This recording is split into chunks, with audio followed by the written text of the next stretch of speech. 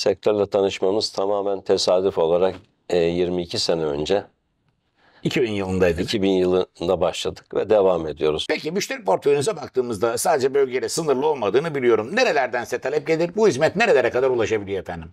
Hizmet Türkiye'nin her tarafına hizmetimizi ulaştırabiliyoruz. E, telefonlarımızda ve mail adreslerimizde 7 bölü 24 daima hizmetteyiz zaten. Teknolojinin bize sunduğu bu Aynen. hizmetten biz de yararlanıyoruz. Türkiye'nin bütününe de ulaşabiliyoruz. Aynen. Peki biraz burada verilen hizmetimizi açalım. Talepler doğrultusunda özellikle müşterilerinize neler sunabiliyorsunuz? Hangi konularda hizmet verebiliyoruz? Müşterilerimize e, 24 saat sağlık konusunda, sağlık sigortaları konusunda hizmet veriyoruz. Hastanelerde yardımcı oluyoruz.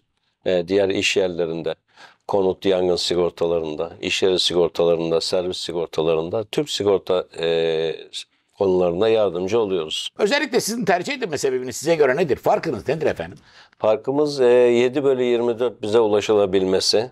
Gecenin herhangi bir saatinde poliçe onaylayabilmemiz ve tek e, kelime sigortacı hasarda belli olur. Hasarda mutlaka müşterimizin yanında olmamız. Departmanımız ayrı, sağlık departmanımız ayrı, e, hasar departmanı. Uzman kadronun tabii ki önemi çok fazla. Yardıma Harika. daima Şimdi yanındayız. gelecek konusundaki projeleriniz neler yapmayı planlıyorsunuz?